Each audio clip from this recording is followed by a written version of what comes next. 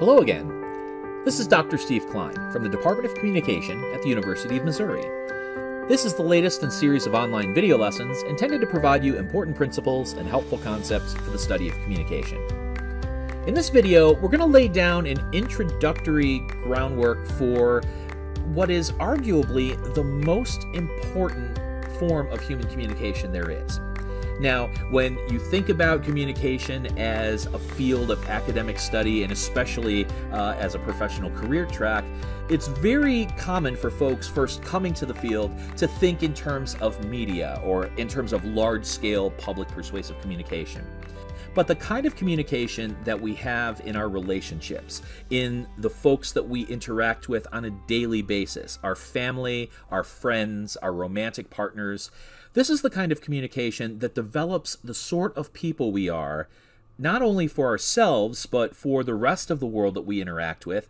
We do this every single day of our lives. And so it's really the single most crucial area of human communication.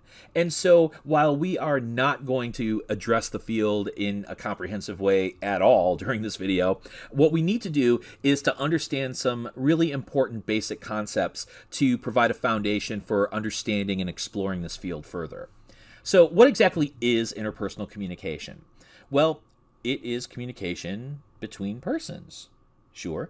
Um, but there's a couple of important elements that we really need to attend to. First of all, one definition explains interpersonal communication as the process of exchanging messages between people whose lives mutually influence one another in unique ways in relation to social and cultural norms.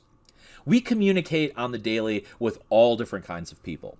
But when we're thinking about interpersonal communication, we're thinking about particular people who are important to us in some specific ways. Any kind of human communication is going to involve sharing meaning and influencing the other person. But when we're communicating interpersonally, the people with whom we're interacting have unique connections to us, and the kinds of influence that we exert in an interpersonal communication exchange is something that's going to be very different than the kind of influence we might have on other persons.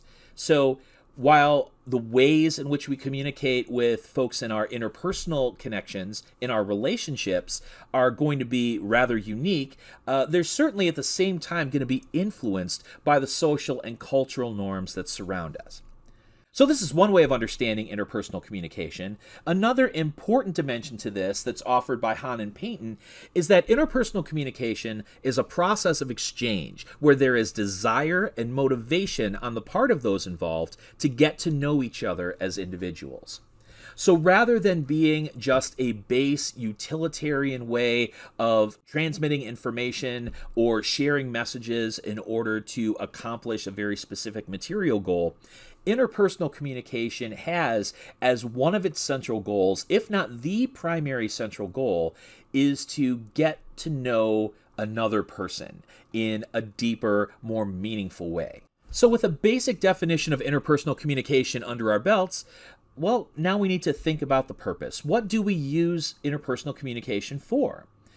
There are a lot of things, of course, that we use interpersonal communication for, and they can primarily be categorized into three overarching sets of goals that we have for this kind of communication instrumental goals, relational goals, and self presentational goals.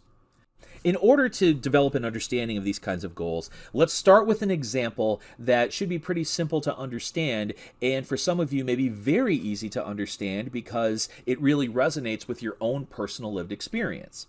Let's say I'm in a romantic relationship, a committed relationship where I live with my partner. And one of the things that we do every single morning is we sit down together in our breakfast nook and we share breakfast. We've got some coffee and a bit of nosh, and we talk about what happened yesterday. We share a bit about what our plans are for the day and, you know, the kind of stuff that you do in the chit chat over the breakfast table uh, before you get ready for work or school and do what you need to do.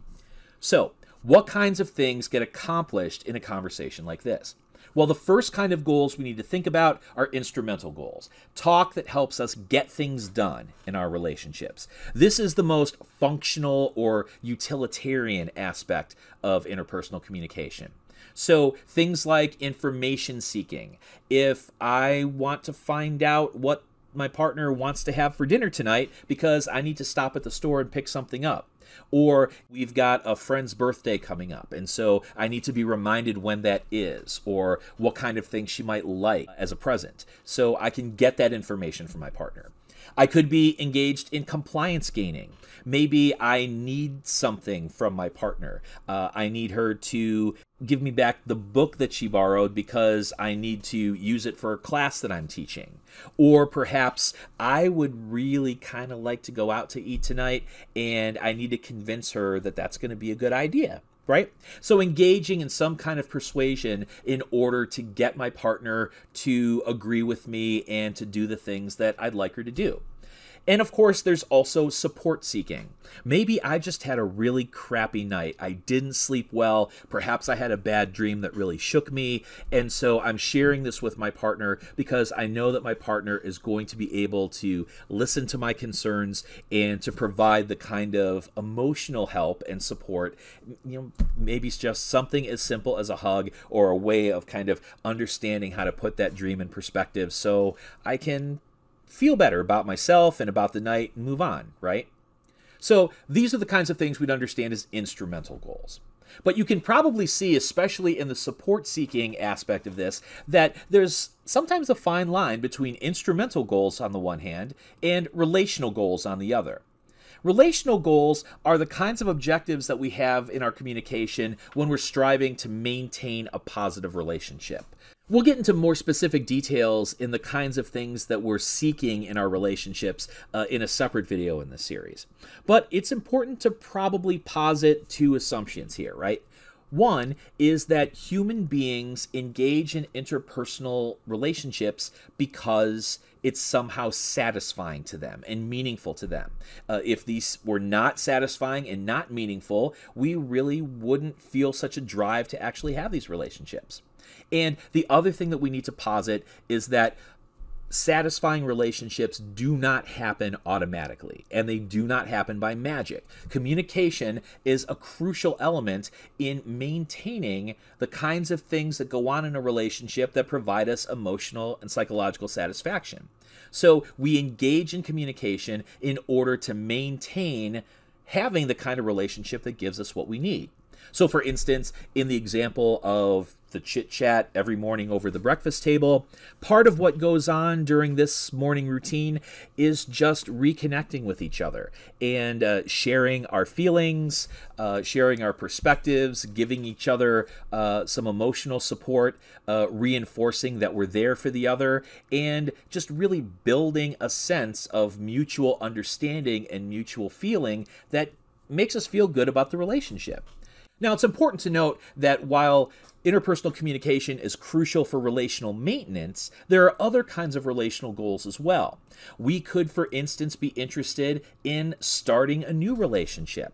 When I try to meet a new friend or try to get involved in a new circle of friends, uh, then I'm going to engage in interpersonal communication because I want to initiate the process of starting and developing a relationship.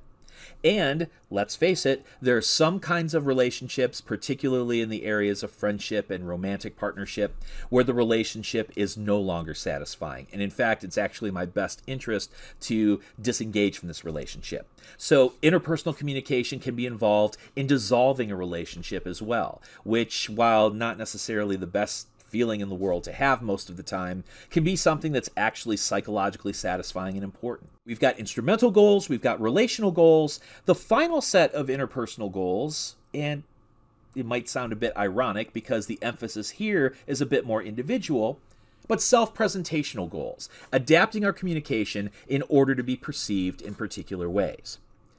Now, in previous videos in the series, we talked about the ways in which we develop an understanding of our self concept largely through the kinds of perceptions we have from observing how other people respond to our behavior, respond to our communication. And when we're in a relationship and part of our goals are to have a satisfying and ongoing relationship, then I'm going to want to project a sense of self that's going to be helpful to have me achieve that relational goal.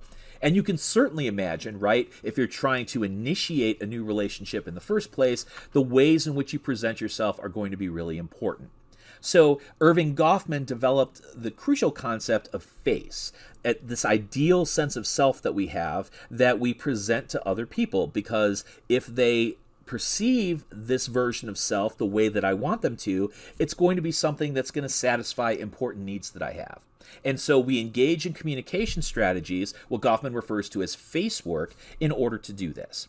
Now, it's important to note that the kind of impression management that Goffman is talking about is not necessarily the same thing as being fake or presenting a false sense of self. Certainly, we can do that, and many people do that. But that's not necessarily what face is always all about. In the example we've been working with so far, this morning breakfast routine, part of what I want to do is establish for my partner that I am and continue to be the kind of person that is worthy of her continued attention and love and respect. Because if she sees me in these particular ways, then that's going to help me achieve not only this specific self presentational goal of helping reinforce my confidence and satisfaction in my own self concept, but then it's also going to help me achieve certain relational goals as well and my partner is going to be doing the same kind of thing. So it's not as if we're always fronting in front of each other and always trying to be fake about who we are. We're just presenting selective senses of who we are at any given time because, in that context, that's what's necessary in order for me to achieve the kinds of personal goals that I have which in a relationship inevitably involve how the other folks in that relationship are going to be perceiving me. Okay, so we engage in interpersonal communication for instrumental, relational, and self presentational goals. And generally, these are taking place within the context of a relationship. So, what we want to try to tackle next is how do we actually understand our relationships? And in what ways does the communication process actually help us develop and maintain and evolve this understanding of our relationships?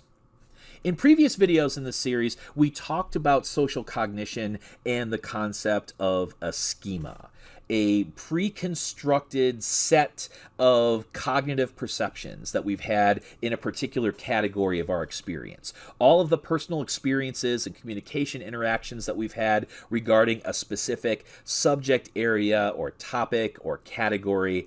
And whenever we experience something new, we understand that new thing based in part on this overarching schema that's related to it. We process the new data in terms of the pre-existing data that we have and then introduce and reintegrate this new experience into the schema and the related other schemata that we have. And relationships are no different in this regard. We can understand relationship schemata as cognitive structures that serve as blueprints or plans that show the inner workings of a relationship. And we develop these schemata based on perceptions we have developed in previous relationships and that we've learned from our larger society and culture while every relationship we have with a family member or a friend or a romantic partner is going to be a unique thing, it does not exist in a vacuum, but it lives in a much larger social and cultural landscape. And so, whenever we get involved in a new relationship, we think about it in terms of the relationships that we've had in the past. And when this new relationship develops and grows and we engage in the process of maintaining it, we continue to build our relationship schema by thinking about how the new things that we're experiencing compare and contrast with what we've experienced in the past. And we also learn a lot about what our relationships can and should or are supposed to be based on social norms and cultural models that we learn throughout our entire lives. So, indeed, in a very real sense, we can understand our interpersonal relationships as cultures. Relationship cultures are the climates established through interpersonal communication that are unique to the relational partners, but based on larger cultural and social norms. In a previous video in this series, we talked about how culture should primarily be understood as the set of beliefs and values and priorities and communication practices, the norms and rules that we have for interacting that we learn over the course of our lives within a shared membership group. Uh, the people who exist together in a culture understand themselves and each other in some ways that are held in common in pretty important ways. And if you're in a family or a circle of friends or even a best friend or romantic partner relationship, you develop a culture in those contexts as well. So, if communication practices are the building blocks of any cultural group, the same is going to be true of relationships. The building blocks of relationship culture include some very important common practices storytelling, personal idioms, routines and rituals, and rules and norms.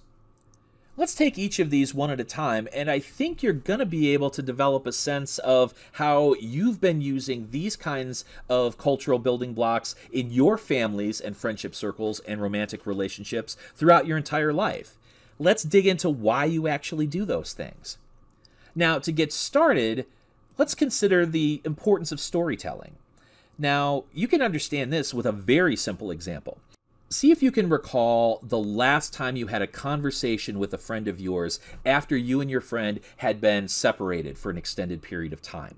Maybe your friend went on vacation with the family for a while, or maybe you both go to the same school, there's been a break during the academic year, and now you've come back to school, and it's time to reconnect and find out hey, you know, what's been going on? How are you doing? Uh, how are things going?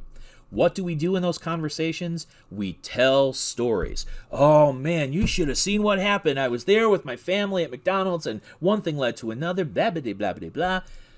We are storytelling animals as human beings, and stories are crucial to human communication, especially in relationships, for a number of reasons. They provide an opportunity to share history. Uh, think about this especially in terms of families or in terms of friendship circles when a new friend enters uh, the circle that has already been pre existing, right? One of the things that we do is convey a sense of our past together in the relationship. We also use storytelling to share beliefs and values and to pass those beliefs and values on to people who come into the relationship new. Storytelling can be absolutely crucial for the members of a relationship, in part due to their capacity to promote stability. Those stories that have been told over and over again within a relationship, in a friendship circle, in a family, for instance, really establishes the fact that the history that we share together, the beliefs and values that we hold in common, these are things that are embedded and ingrained in our relationship as a culture. And so they give us a sense of security and satisfaction. And of course, these stories can also be a basis for testing compatibility. If we are trying to initiate, for instance, a new friendship or a new romantic relationship, the kinds of stories that we share in conversations may provide a basis for trying to determine whether this is someone I want to continue to develop a relationship with. And even once you have a relationship uh, with a friend or a romantic partner, we often use storytelling to convey a sense of who we are as a relationship to the other people around us outside of that relationship. Storytelling is a crucial aspect of the way in which we develop this, these kinds of cultural expectations. Consider the classic example, for instance, of a grandmother working with grandkids sharing that special chocolate chip cookie recipe. As we prepare this special family tradition, maybe it's for Christmas or a special birthday party, the stories that our grandparents often tell us in order to give us a sense of where we come from, uh, the people that have been crucially instrumental to our lives, even though we never knew them, because of how they contributed to Grandma's life as she was growing up. These stories tell us about who we are, the kinds of things that are important to us. And so when we engage in this kind of storytelling, not only do we firm up the relationship, but we also provide the capacity to pass on these cultural values and shared history to subsequent generations. So, storytelling is really important, and sometimes one of the things that happens when we tell these stories is we engage in the use of personal idioms. Personal idioms are ways of communicating that are unique to certain relationships, and they create a sense of belonging due to the inside meaning shared by the relational partners. The classic example of this, of course, is pet names. How many pet names that you're called or that you use for your significant other? Oh, I can't. is it I embarrassing? What does it hit me? Well, probably for him, but not for me. It's so sweet. It's called, it's it's booby. Booby. You call that hit to him or he calls it to you? It goes both ways. How did it come up? Is there is there a genesis of the term? I can't even remember. Look, it's so long ago. I can't even remember. Yeah. What? Because you guys know Shay, my girlfriend, she's like overly affectionate, so I'd always make fun of her and be like, Oh, Schmoopy, how was your day, Schmoopy, Schmoopy? Oh, was- from Seinfeld. Yeah, from Seinfeld. Yeah, yeah, So it's shortened because we didn't want to use Schmoopy, that we call each other Moopy, and then from there it went to Moop. So we just call each other Moop. Like, hey, Moop, how's your day going? You also have a lot of nicknames for people. Yeah, I do a so lot of you nicknames. call her like I call her like Sway. 12 different Yeah, names. Sway's her other one because um, the woman who used to be the cleaning woman at our old job um, used to mispronounce her name and say Shui, and we loved her, so I always call Oh. That's Shay really Shui funny. too. So those are If you're in a romantic relationship that has existed more than a few months, it's commonly the case, and there are interesting reasons why this is, that we end up calling each other by special names, little nicknames that somehow refer to an inside joke that we have that nobody else shares, or it reflects a certain sense of intimacy that we have, a very vulnerable, romantic, emotional reaction we have toward the other person that this name signifies. These are often names that we use in private, just the two of us. Uh, if we ever do use these names in front of other people that are outside of the relationship, they don't know what that means but we know what that means, and that's really important to us. Similarly, things like inside jokes, things like nonverbal codes. If you and your friends, for instance, that have been going to uh, parties and get togethers for a long time, you may have your own nonverbal code to let the other person know, hey, I think it's time to go, or this person is really creeping me out. Can you come over here and give me a hand? Listen, um, can I just say I'm very bad at parties?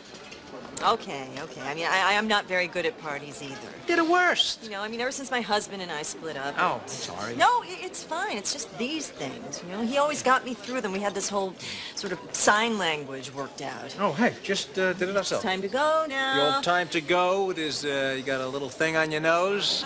There's uh, there's this one. There's I'm talking to the most boring person in the world. Pull me out of this hell. And uh, the other sign we have is uh, this, which is uh, swing on anything he's stealing second. Why don't you call me at my office on Monday? Really? Yeah, well, we have this project coming up I think you might be perfect for. Oh, well, that that would be great. Just Yeah, no, not as much as Flounder. Good. But more than Pike. Well, a little more than Pike, although not as much as Grouper.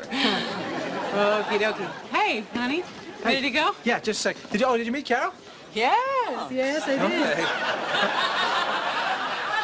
Your hair looks great, really. Stop fussing. Thank you, thank you Okay. very much. Okay.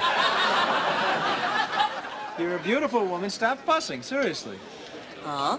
Yes. Did I give you my card? Yes. May I have it back? Yes.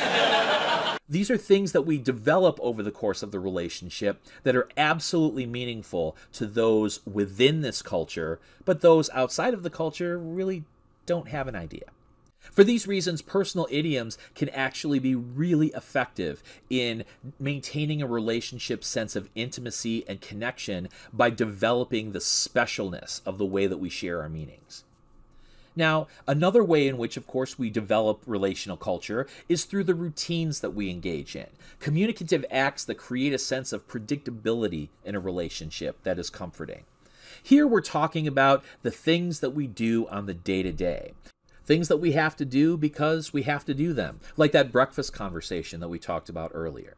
During these activities, or perhaps in other sorts of contexts, there are certain recurrent conversational topics that we also have that we have all the time because we need to. And you're very familiar with some of these kinds of topics, right? What are we going to have for dinner tonight? What kind of plans should we make for the weekend? How are we going to pay our bills this month? Even a simple routine like walking the dog and comparing notes about the kids once a night can give each other a sense that we're here for each other. We're a team, and that's important. Now, if routines deal with mundane, ordinary activities that we do on a regular basis, relationship rituals can be thought about as routines that are bedazzled, if you will. These are repeated communicative acts that take on more symbolic meaning. In other words, these are activities that we engage in over and over again over the course of our relationship, but we do so with a bit more planning and a bit more foresight into what they mean and what their significance are. So if you think about personalized traditions that develop within a relationship, things that we do in a family, for instance? Uh, are there holiday traditions in which we get together at a certain time in a certain place? Are there certain kinds of food traditions that really are meaningful to us? It's not Christmas Eve uh, when I go to my grandma Bud's house, unless she makes the potato and the cabbage pierogies, right? There's something that is part of what we do um, when we're having a Christmas Eve together. And it could be something as simple but as important as a pizza night that you have with your romantic partner. It's something you do, just you two, that provides some special carved out time to reinforce how important you are to each other. These kinds of rituals communicate a sense of stability and a sense of significance in a relationship because of the time and the effort and the importance that we attach to these activities.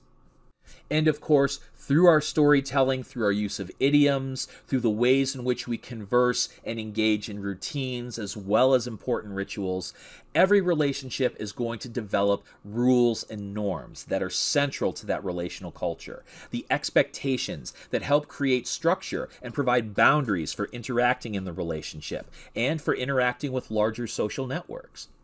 In a family, for instance, we develop certain norms for how children should respect and treat their parents, how siblings ought to be there for each other and behave with one another in certain ways.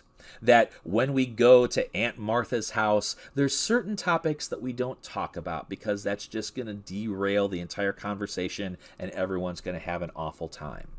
We develop expectations, for instance, that in our friendships, we're going to make sure that we maintain regular communication. If I text you, I'm going to expect that you're going to text me back within a certain period of time that if I am in a romantic relationship, that we have some kind of expectations regarding things like uh, romantic intimacy or making sure that we have certain amounts of time that are just for us so that we can connect as opposed to uh, times that we use for ourselves or for interacting with others outside of the relationship.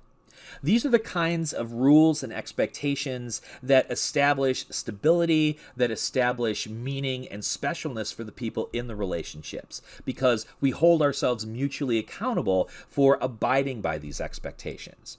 When we do that, we're signifying that this relationship, this cultural thing that we have between us, is something that we each find important. And so, through storytelling, the use of idioms, through routines and rituals, through the establishment of rules and norms, we develop a culture in our relationship, ways of understanding ourselves, our connection to the other person, and ways that help us see the world and help us see other people through the lens of this relationship, and give us rules and expectations for how we ought to act towards one another and towards the world around us. And throughout this building of relational culture, we're constantly engaged in the kind of communication that helps us meet our instrumental, our relational, and our self presentational goals. So now we have a pretty good, if still fundamental and introductory foundation for understanding interpersonal communication. If you've got any questions about the concept in this video or any of the videos in this series, please don't hesitate to let me know. Otherwise, I'll see you next time.